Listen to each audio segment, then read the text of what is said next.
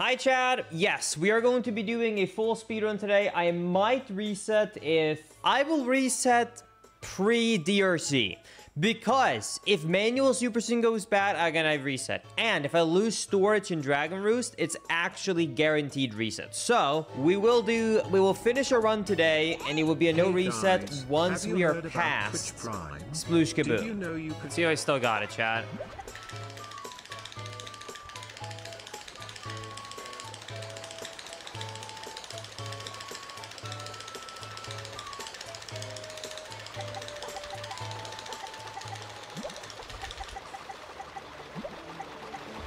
This is how we do it. Still got it.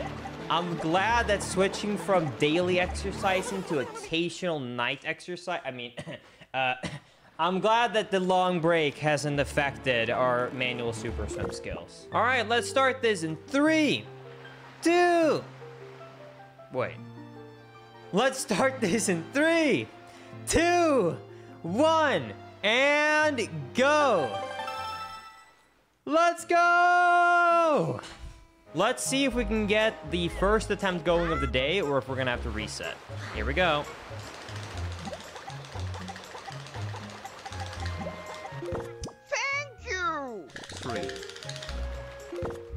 I will watch the lore cutscene one more time, otherwise we're skipping it, because I'm not sitting through four minutes every time we mess up manual Super Swim chat. You will get it one more time.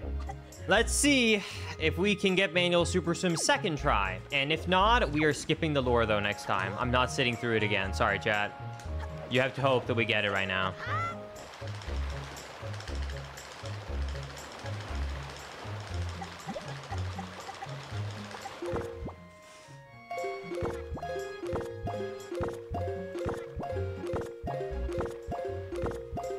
Good. I think I have enough speed, but I'm gonna pause for a little bit more just to be on the safe side. Let's see if I have enough speed. Let's try it.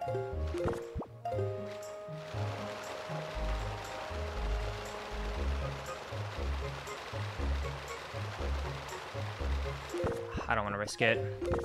I'm gonna save it. Hold on. It'd still be faster than a buffered one. Okay, I think this is enough.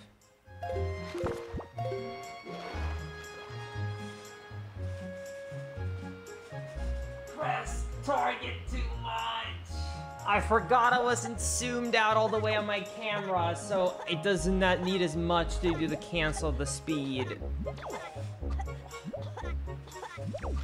Oh, that hurts. chat, I'm sorry. No more lore. That was it. That was the end of the lore, chat.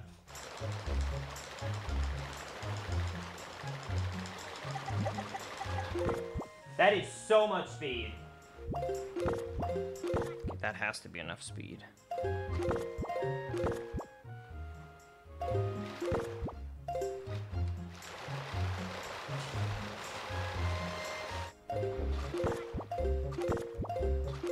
I'm gonna drown.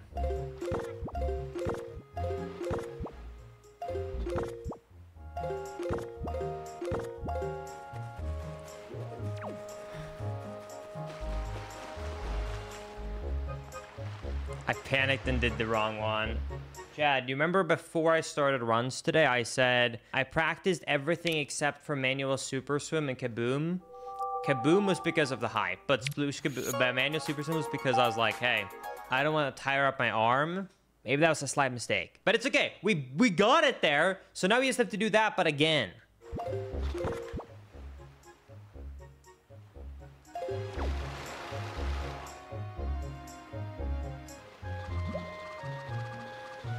We did it!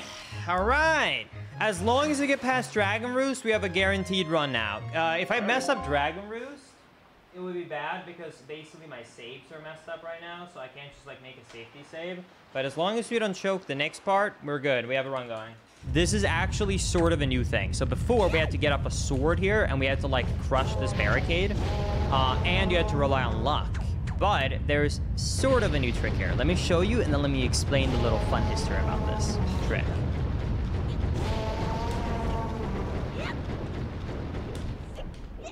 I needed Wind Waker. Bam. So, you can actually get out of bounds on top of that cliff without using any glitches by using very precise movement to skip that barricade. And you can like walk out of bounds if you just want to do it for fun. So that's something that you have, I promise you, you have probably never seen before. And you might be like, oh, that's a cool new skip. Well, let me tell you the really funny story behind this, because I just found out about this. So, I started speedrunning Wind Waker in 2013, right? So I would say I know a good amount about this game. Well, I didn't know about that trick. You might be like, well, of course, Linkus. It was just implemented and found. Well, Mini technically just discovered it a few months ago, but he didn't actually discover it. He rediscovered it. That glitch was found by an old uh, community member by name of Kazooie. If you are a really old school person, you know about that glitch hunter Kazooie. That glitch is 14 years old. Some, like, there is a 14 year old video on YouTube of finding that glitch by a user named Kazooie. 17, sorry, 17. 17 years old video. Super, like one of the oldest glitch videos ever found. Yeah, I almost couldn't believe it until Mini sent me the video. And it was uploaded on November 21st, 2006. It is literally 2006. Can you believe that a new a, a, glitch that would actually end up being useful in 2024 would be found in 2006? I think it's so cool. To be honest though, Linkus, 2006 was like the last time Twilight Princess got a speedrun development, so it's not too bad. You're kind of true though. I can't remember. I think 2009 was the last major discovery, right? I think it was 2009. I could be wrong. It's a long ass time ago. All right, if in case you haven't seen this next trick coming up, this is one of my favorite tricks. Be ready, okay? So we just got the telescope, so we're supposed to like watch a bunch of cutscenes and go and save Tetra and blah, blah, blah. We're not gonna do any of that, okay? This is what we're gonna do. We're gonna change the wind upright. Then I'm gonna go ahead and go in this corner.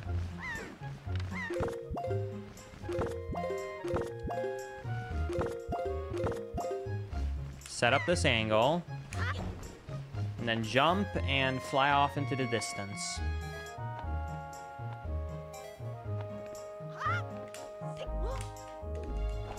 Then we're gonna stand in the air, open an invisible door, and we are now in the pirate ship.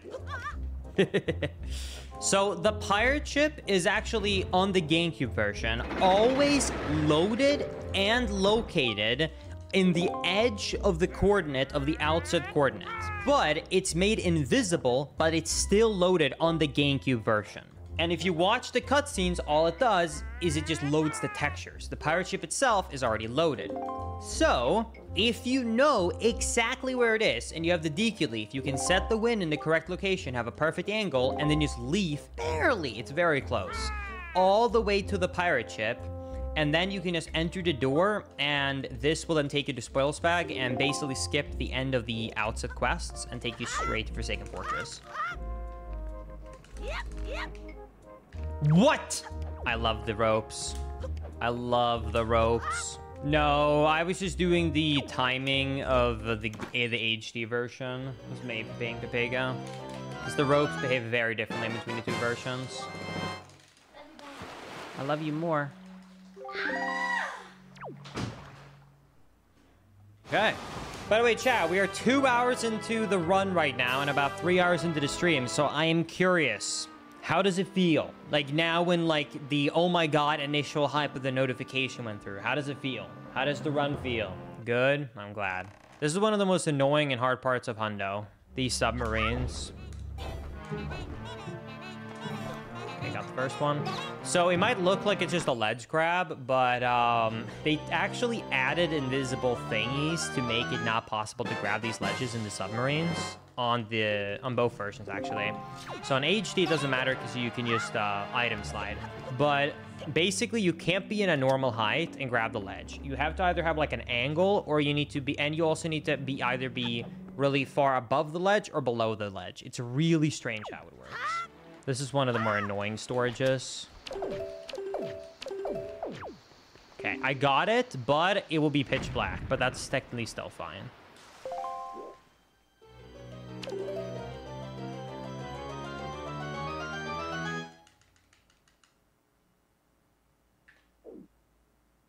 Don't see anything.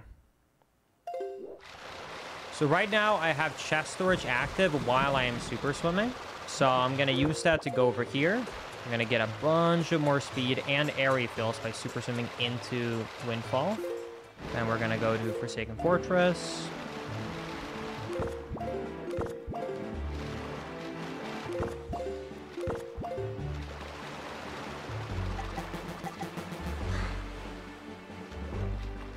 Cancel storage. And because we have... And because we have chest storage enabled now, we can climb these walls.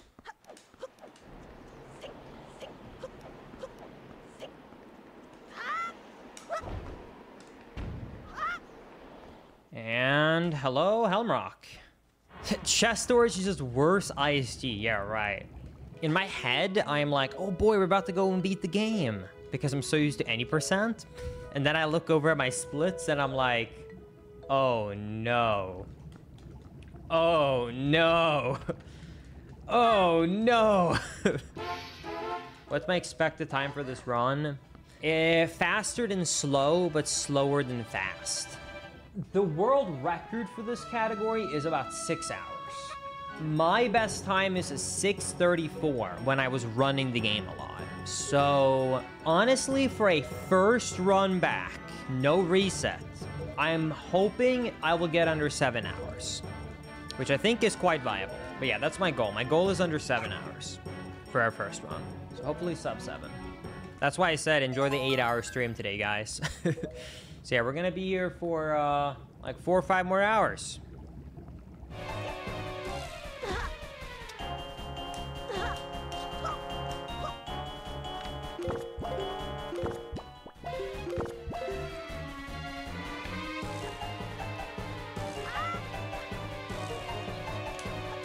Nice, second try, we'll take those. We have to come back for this bird later, by the way, because he does give you a heart container.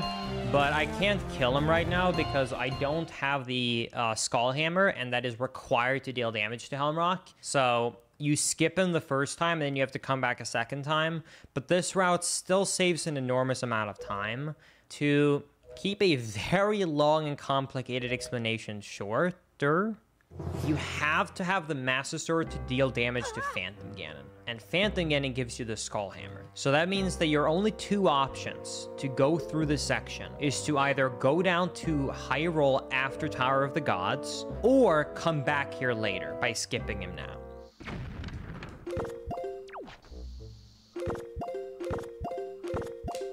Got it. All right, second try, not too bad. We take those. Let's not fail this and crash the game. With a new setup, we should have this in the bag.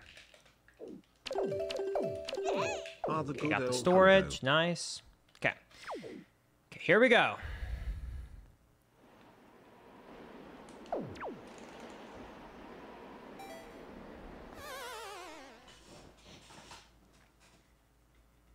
Got it. All right. I love this new setup. It makes this go from, oh boy, we're gonna crash the game half of the time, to we actually have a consistency for it. So what happened right there is basically I entered the loading zone and I got crushed uh, by the ceiling, so I voided out at the same frame. That, that makes it so that the game doesn't attempt to play the cutscene again, which normally should happen. Instead, it puts me through the loading zone, but in a, hey, I just voided out and standing back up state, which skips the cutscene. That means I avoid crashing from coming here a second time. And now we can actually fight Helmaroc.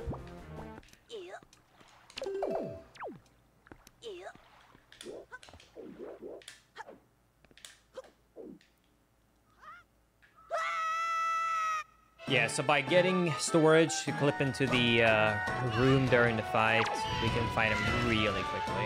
We don't have to rely on Helmaroc RNG like the HD version. All right. And now, the most exciting part of the run is coming up. Auction! So if you don't know how auction works, there are four items in the auction. No, it's not auction. It's it's auction. anyway, so there's four items in the auction. There's two mappas, one heart piece, and one joy pendant. Every item is an equal amount of chance of appearing, meaning right now there's a 75% chance to get an item I want and a 25% chance to get me the joy pendant. Every time I get the joy pendant, I will lose 25 seconds. So first item, pretty good. All right, second item. Will we get a mappa, a heart piece, or a joy pendant? This is it. Will we get on the first attempt, which is what the prediction is for, a joy pendant or a heart piece? Let's find out. Will we get perfect RNG? And we actually got perfect RNG on the auction. No joy pendant today. Believers win. Never doubt the RNG. Can I say, by the way, I'm gonna hate these splits. Oh my god, am I gonna hate these splits. First splits on back to the category. And I'm forever losing time on this now. I am forever gonna lose time to this. Why on my first no reset run do we get perfect RNG on auction? Yeah, exactly. Have fun. By the way, if you're wondering, I don't want to go ahead and actually get Medli. So I'm doing this obscure setup to basically clip out of bounds. This trick is actually more precise than barrier skip. It is the most precise, I think it's the most precise clip we have in the entire run. It's float point perfect, yeah. If you know video games or development at all, you will understand why it's so precise. if you hear flo float point perfect.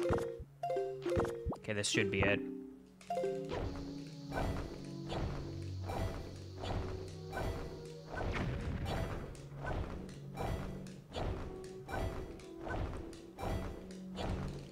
Got it.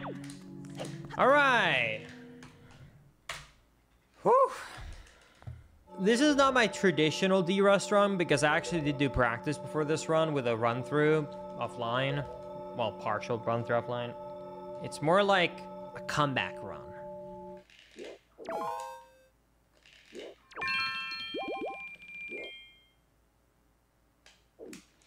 What? How didn't he jump? Oh god. Thank you. Hey, Link. Hold on, I can save Since this. you don't have sounds, we'll help you. Hi, It's gonna be slow, but I can dum, save this. hi, wah, ah. I've never had him not to jump there before. I'm so confused. What's my forest water on? Four minutes. Oh, man. I'm quite scared about my forest water. I think I might have to reroute it. It is gonna be quite tight.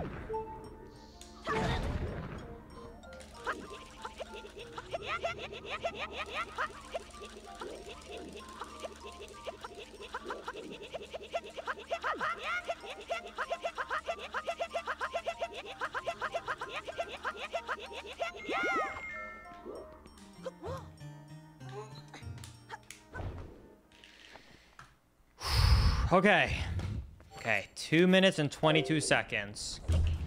Time for the best music in the game. I hope I can get a good one cycle to try and save some of the time back on the 222. At least it's not that big of a detour. Because I think when I, you know, you know when I do the save warp on Mother and Child Isle, I think I could just like get storage, go to Star Isle,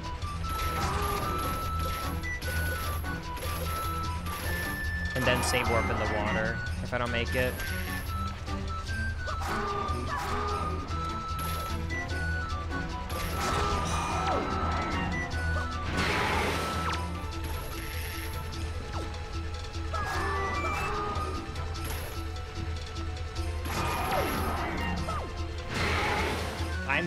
I want to make it work though. Okay, I'm not gonna dupe until it's no. I'm just gonna dupe. I can't make it. It's one minute.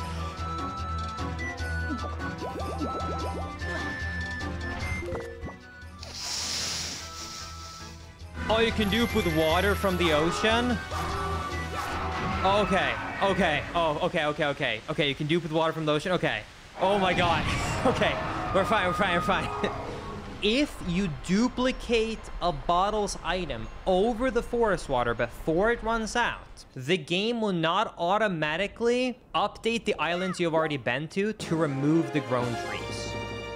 As long as you never go back to those islands. That means that you can split up water. You, that means you can split up the uh, forest water into two segments. So you do half of them now, duplicate soup over the water, and then you basically do that again. I messed up the, the, uh, the bottle glitch right there, which is why I said, oh no. However, thankfully, it seems like you can do it with normal water as well. Okay, let's get some water.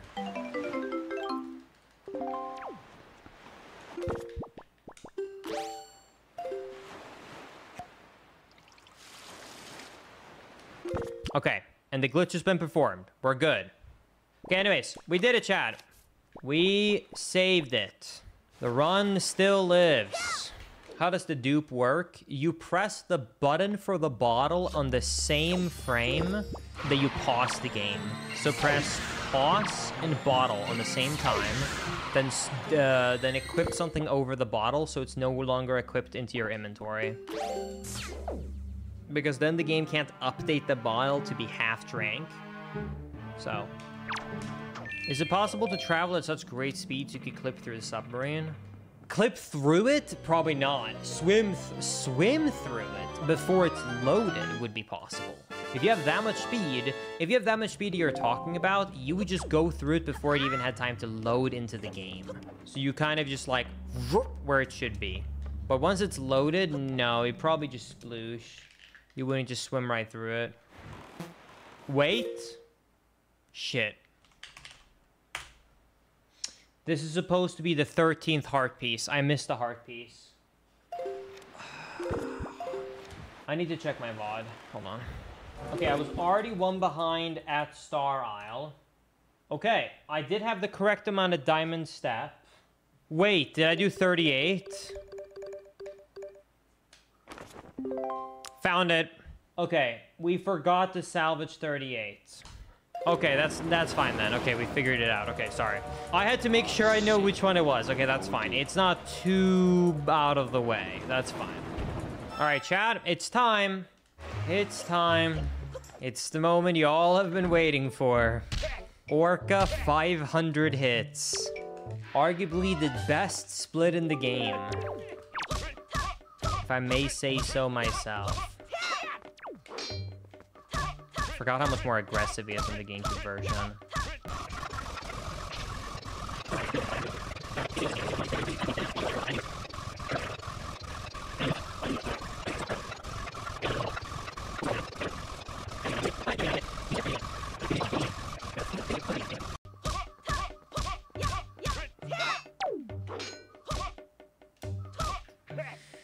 I have lost the speedrun on world record pace at 499 here before, actually. If you are curious. Oops, early split. This is the last Orca you will see of the day. So say goodbye to Orca. He's so sad that you're leaving him, chat. He can't believe you're gonna leave him like this. That is true. I got so embarrassed when we were at Olive Garden. I literally ran out of Olive Garden and sat in the car alone for 15 minutes waiting for Maisie and Oliver to finish their meal inside, or their, their dessert inside of Olive Garden. So we were out at Olive Garden. It was pretty late, and I wanted to go to a store, and the store was going to close at 10 p.m., and it was like 9.25.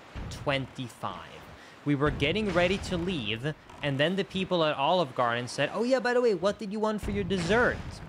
And I forgot, because it's Maisie's birthday, she's gonna get a free dessert. So Maisie said the tiramisu. And, you know, I'm like, okay, at least that's a fast thing. It's in the fridge, right? It's just gonna basically come out of the fridge or freezer and, you know, it's done, right? This is gonna be fast. Easy clap will still make it, right? Because it's like a 10 minute drive. And then a couple of minutes go by, couple of more minutes go by, and because I'm like, bruh, because, you know, I want to make this time, right? Like, I want to make the time. And I'm starting to just go, bruh.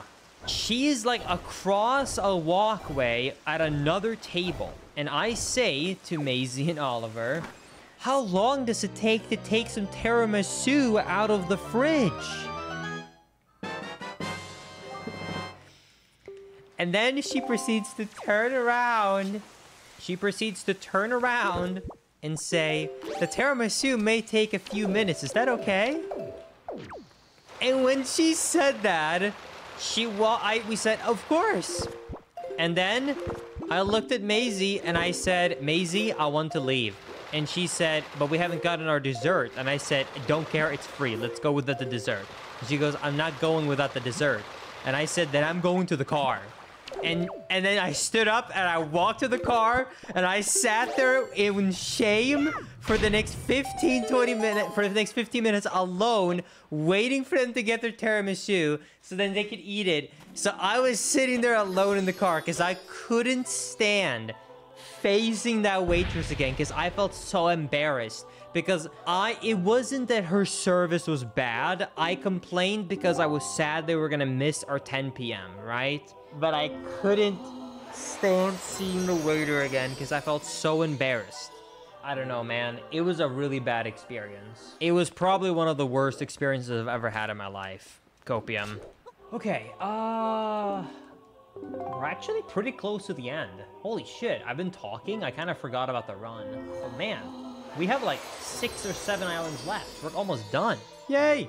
One thing I really don't like about Wind Waker 8, Wind Waker on the GameCube version for Hundo, I will say though, I hate seven hour speedruns.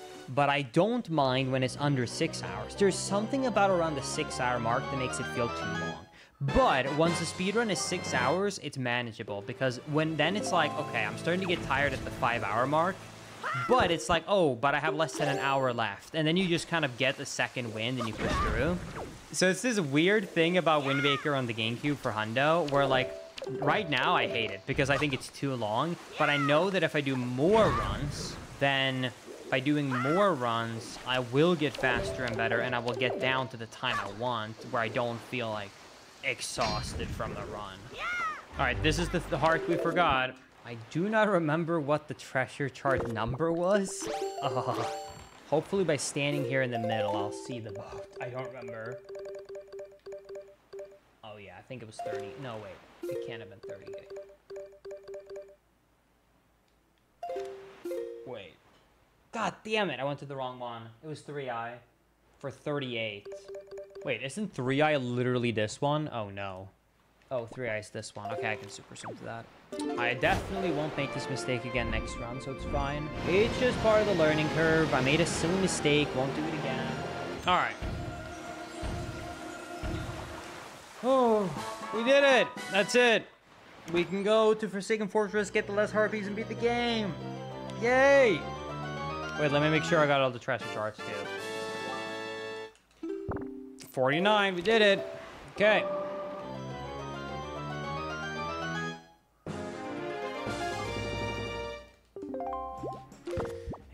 And 100%. That's it. That is 100% everything.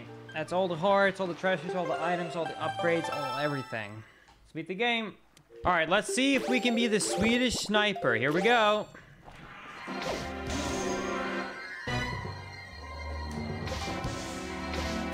I'm just keep moving to the left.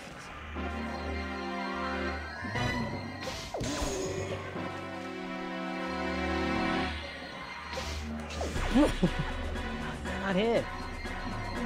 Okay, not bad, but so close to perfect. I would say that was pretty good. Thank God there's no Puppet Ganon skip. There technically you can't. Technically, the optimal strat is to do PG skip, but the world record does not do it. And I have said to chat that unless I have to, I'm not doing it.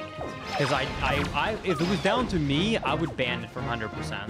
I would literally ban it in a heartbeat. I've said for a long time, I would love to just add a rule to Hundo that says you have to beat all the bosses. Because the, the only thing that that would do is put into a rule that Puppet Ganon skip is banned. I would vote for that in a heartbeat. Also, that was a sick shot. Oh, that was so close to being called. Still incredible shot.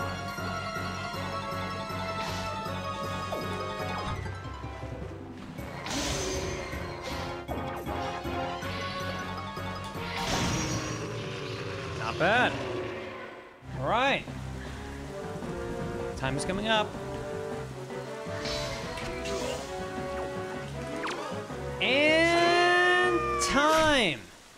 There it is, the super rusty Wind Waker 100% return run in 7 hours, 28 minutes, and 42 seconds. I'll do another one this week, probably not tomorrow. But what about maybe Wednesday? Maybe we'll do one on Wednesday.